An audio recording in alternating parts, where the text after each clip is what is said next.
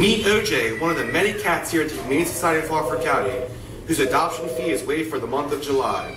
Good, Good morning, Maryland. Good morning to the Humane Society of Harford County, one of the shelters taking part in the Maryland 2000 event, which is winding down. They're waiving the adoption fees for cats and kittens through the month of July, but July ends tomorrow. We get information on the website, WMAR2news.com. If you want a new cat or kitten for the family, got to act fast.